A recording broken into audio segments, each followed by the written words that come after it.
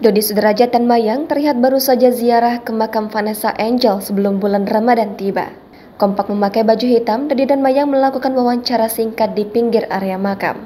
Dalam wawancara itu, Dodi Sudrajat sedang membicarakan soal konsep band baru Mayang. Kata ayah mendiang Vanessa Angel itu, Mayang nantinya akan memiliki band yang anggotanya perempuan semua. Saat mau melanjutkan wawancaranya dengan Mayang, Dodi Sudrajat dapat info dari awak media jika Gala datang ke makam Vanessa Angel. Sontak saja, ayah dan anak itu langsung menoleh kepala mereka ke arah pintu area makam. Tapi sayang, Dudis Derajat dan Mayang hanya terdiam. Mereka sesekali menoleh dengan cepat tapi menunduk lagi.